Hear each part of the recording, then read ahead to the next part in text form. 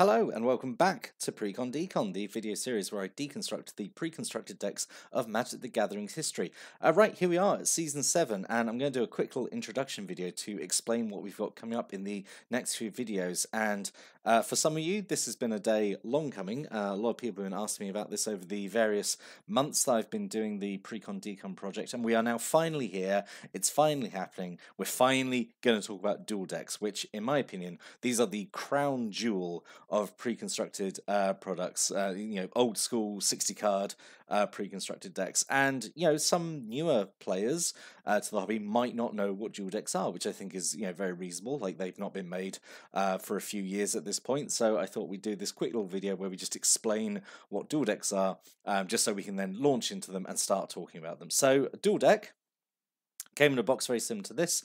Um, it basically comes with two 60 card decks, um, and it's kind of um, styled as you know like two rival factions fighting against each other. So the idea is you'd pick this up, maybe split with a friend, you know, each take a deck each, and you know the decks are essentially kind of meant to be balanced against one another. And you know, ideally you do like you know like a best of three, see who wins, or like play a game each, swap over, have a bunch of fun that way. And uh, you know these were loaded like with a bunch of really cool cards, um, usually very thematic you know to the to the you know the theme of the uh, of the particular faction that was represented in the deck.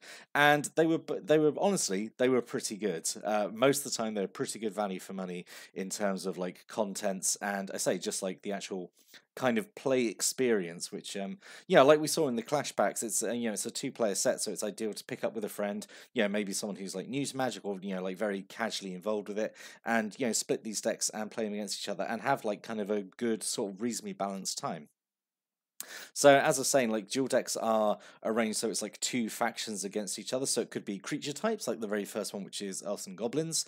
Um, it could be planeswalkers against each other, so like Jace versus Chandra, or it might be something looser. It might be like a theme, uh, like this one, uh, which was divine and demonic.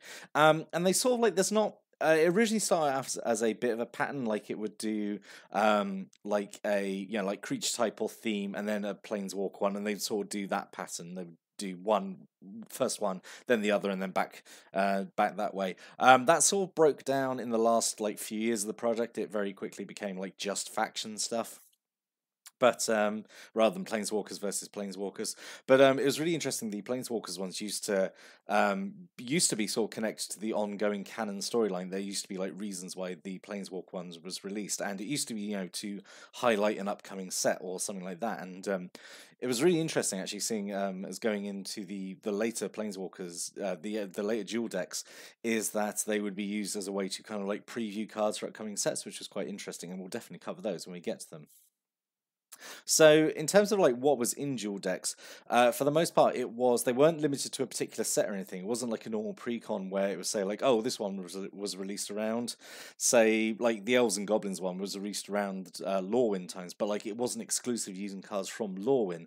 Like the Elves one uses um, obviously a lot of stuff from Lorwyn, but also uses stuff from Onslaught. It uses other random cards from like uh, different sets and stuff. Um, and for the most part, it was a uh, first time like a lot of these cards um, got reprinted in kind of an updated frame, which was actually kind of I, I would say like a big um, appeal of the set to kind of get old cards in new frames or even sometimes with updated artwork. And also um, you could get some really really spicy reprints in these duel decks. Um you know like demonic tutor is like a really big one. We got swords to plowshares in elspeth versus tezzeret. So this i think was like a really big draw in terms of like because it like there needs to be a reason for people to buy these right? And like you know just having like elves and goblins is enough. You need something to like really draw in uh the crowd. And you know some of these decks have like some really really excellent um reprints like with new art and stuff which is like a big draw. So yeah again we'll point those out when we get to them them. But like that's kind of the thing in duel decks, sixty card decks around a theme. You know, very meant to be very very casual, like no formats, whatever. Very similar, you know, to the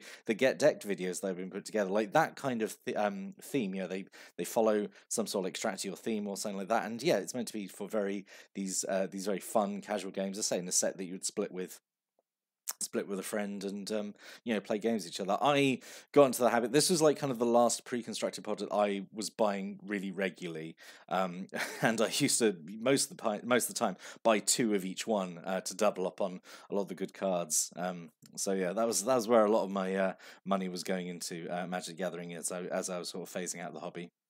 Um, anyway, so the duel decks ran for about eleven years and on average they did two of these a year. So we've got 22 of these to look at uh, and with two de- two decks each that means 44 decks in total. Um, so yeah we've got a whole bunch of content coming up. I hope you stick around and enjoy it all. And i'm really excited to see what people's comments on these decks uh, decks are coming up. What i'm probably going to do is i'm going to do like one deck per video, um, so it will be 44 videos. Um, I was toying with the idea of doing reviewing the whole project in a single video, but I think that would make the video like kind of long. And if I'm being honest, I would kind of want to split it anyway to get two videos, so it's double the amount of views, which is very mercenary of me, but like got to do what you got to do, I suppose. Um, but yeah, I'm really really looking forward to like looking at all these duel decks. Um, I have some really great memories of them. I think they're all for the most part like really really good. Um, and I'm really looking forward to what um your like feedback feedback and comments and opinions on them is going to be. So, uh, without any hesitation, let's let's get started and start looking at those duel decks. So the very first one is going to be uh, elves versus goblins. So the elves one will be out um, tomorrow after this video. Uh, so definitely take a look at that. And um, yeah, I hope you join me for this uh, for this journey, the last big journey I think of of the channel as we start looking into um, the duel decks. So hope you join me for that. And um, yeah, thanks for watching, listening, and have a great day.